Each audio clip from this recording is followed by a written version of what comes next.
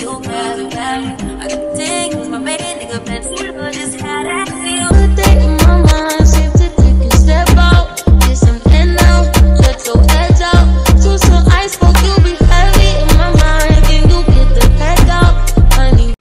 up you guys? Welcome back to my channel. So today i want to talk to you guys about how i passed my comptia a plus core one exam. So i actually passed back in february with a 760 minimum passing score that you need is a 675 and here's the proof. I passed. So i just wanted to give you some tips and strategies on i guess what i did um, to actually pass my exam. So i will say I did take the exam the first time back in like 2017 when it was the 900 series and I failed it the first time. So this will lead me into my first point. Step number one, understand whether you are a visual learner or a textbook learner. I really think this is important because it'll allow you to better understand what types of materials that you need to acquire. So like I said, I failed the test the first time I took it a few years back. And I think it's really just because I just studied straight from a textbook. I used no YouTube videos, no other courses, no nothing. And I feel like that's because I'm a visual learner. I have to see things. I have to see what this looks like, where it goes. So it really depends. There are some people that are hybrid. They need textbook and visual. It just really depends. So make sure you fully understand what type of learner that you are prior to moving forward. Step two. So the next step is making sure you start acquiring your resources. So for me, again, again, I'm a visual learner. So I used Mike Meyers Udemy course. I used Jason Dion's Udemy course on the PBQs and exam questions. And I also use Professor Messer on YouTube. It's free 99, so why not? And I binged watched all of his study groups that he holds every single month, as well as his um, general CompTIA A plus Core 1 objectives videos, just that go in depth about every single objective. So it just really depends. You, If you're a textbook learner, you may use ExamCram and some other resources. Or if you're a hybrid, you use a mix of both. It really, again, just depends on what type of learner you are. But after you figure out what type of learner you are, then you can start acquiring necessary resources that you will use to study. Number three. So this isn't really a tip, so to speak, um, or it could be, but give yourself a good month or more depending on your experience level. So I know there's people that only have, you know, that that have you know two three years of experience working as like a help desk technician or something that'll study for like three weeks take the comptia a plus core one exam the following week and pass it with flying colors. So it, technically and overall, it took them a month to, to prepare and take and pass the exam. So and some people that come from no technical background whatsoever may need a longer, may need longer, you know, two, I say three months max. If you're going longer than that, then something has to be reevaluated like in your studying tools or the way you're studying. But I say a good three months max is the most you should need if you do need a little bit longer. Um, but yeah, just make sure um, you give yourself at least a good month or longer to study. Number four, so this is like one of my favorite things to do. So make sure that after you study your primary, your core material. So let's say I, you know, for instance, me, I used Mike Meyers Udemy course to study for my CompTIA A plus Core 1 exam. After I finished his course, I used Jason Dion's course to study and get myself acclimated to the PBQs I could possibly have. And I also reinforced with Professor Messer on YouTube. And the reason why I say it's important to make sure you are reinforcing is because different things are explained differently by or things are explained differently by different people so the way mike meyers explains things is different from the way jason dion and professor messer explains things and vice versa so i think if like there was plenty of times where Mike Meyers was explaining something that I wasn't comprehending too well. And then when I heard it explained through Jason Dion and Professor Messer, I was able to better understand it. So that's why I say it's try to reinforce it as much as you possibly can. If you're not understanding a concept and you're just not clicking after doing like maybe basic research or whatever, see it, uh, watch videos on other people explaining the same concept and see if that helps you understand. So just make sure that you're reinforcing the same type of information just by, you know, reading another book on the same topic, taking another, taking a course again and just reinforcing topics that you need help on just to see if that helps you better understand.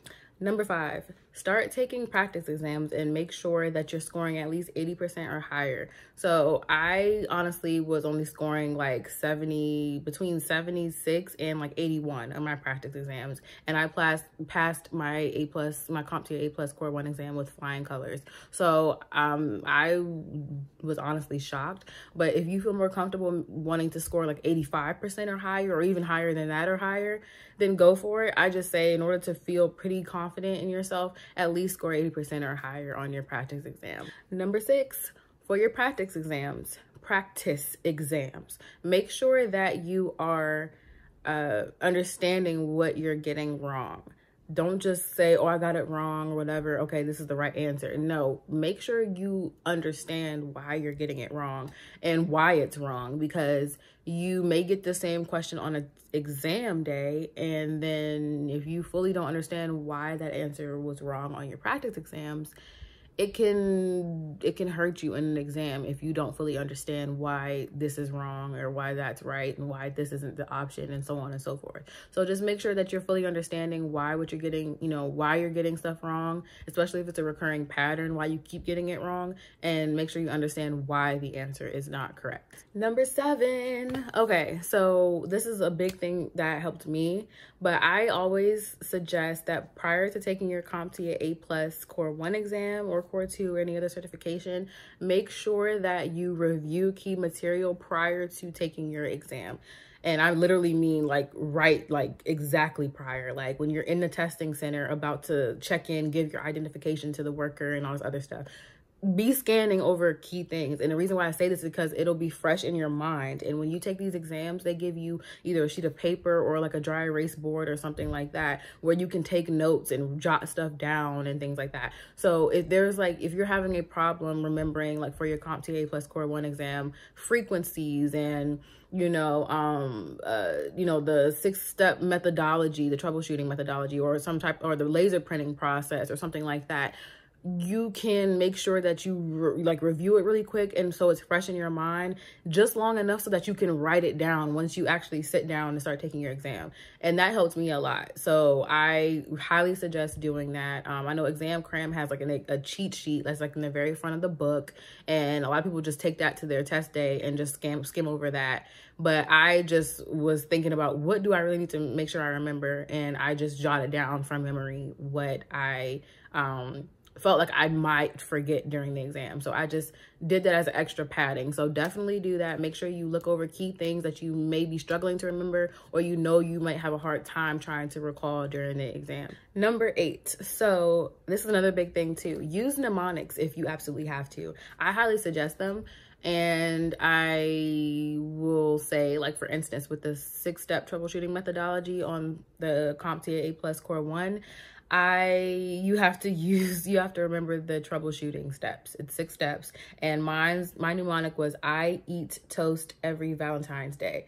That was my mnemonic. And it, it sounds stupid, but it helped. And I was able to write that down, like I said, on my dry erase board. So that, and all I did was write, I eat, I eat toast every Valentine's Day. So that way, when it came time, especially because you do get a lot of troubleshooting questions on the CompTIA A plus core one exam, you do. So it's important that you understand the steps and the order that they're in, but also like eh, the way they ask the questions can try to trick you up. So knowing those steps is very important and um, that helped. So I will say use mnemonics. If you feel better um, using it in a song or creating a song to help you remember the laser printing process or something like that, do that. If you feel better or more comfortable associating it with something, you know, with an article of clothing or something like that, do whatever works for you. Just as long as you understand it come test day and you, you know what it is and how it works and the steps and stuff like that, do what you have to do. And number nine. So I truly love this strategy because it was actually Jason Dion who first like talked about it and I don't know why I never thought about doing that, but skip your PBQs at the very beginning. Flag them for review and come back to them at the end. Um, I'm sure for those of you who may be watching this that already follow Jason Dion, you probably already know this, but I'm going to share it anyway because it's something that greatly helped me. I will say I had about four PBQs at the very beginning and I flagged all of them for review, went straight through all of my multiple choice questions. By the time I was finished with my multiple choice questions, I still had about 40 minutes left on my exam.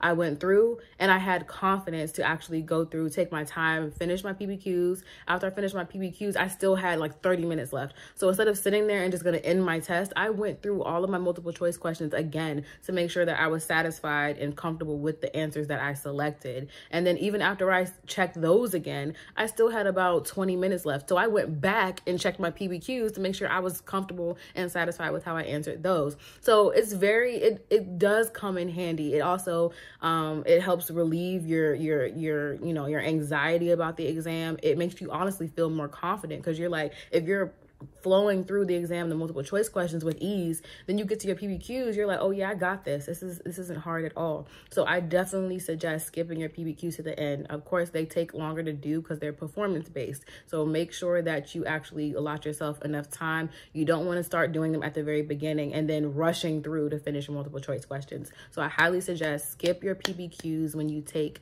the CompTIA A plus core one exam, the core two exam, or any other certification that you're going for that is very performance that's one. Number 10 is don't be afraid um, utilize study groups and utilize, you know, connecting with someone who's also studying for the CompTIA A plus core one exam to study with. Because again, like I said in an earlier tip, the way someone else explained things can be the difference between you getting a question right or getting a question wrong. Like I said, Professor Messer explains things in a way that I better understand certain concepts than Mike Meyers. So there may be a topic that you're struggling with and a study partner may be, uh, may be able to actually explain it better to you than, you know, you were getting the information from someone else. So I highly suggest using like a study partner, a study group. There are plenty of them. Um, you can use Facebook and look for A plus study groups. They're, they're, they're all over the place you know, um, CompTIA A plus core one study groups, you know, security plus, like they're all over the place. So you just have to do your research. But I highly suggest finding a study partner, a study group,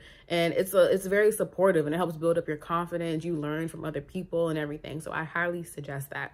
Okay, you guys, that is it for today's video. I hope you enjoyed it. Um, I'm curious, down in the comment section, let me know what stage you guys are in as far as your studies. Are you are, are you currently studying for the core one A plus exam? Are you, you know, studying for your core two? Are you already fully certified for your comp with your CompTIA A plus certification? Like what stage are you in? I'm really curious.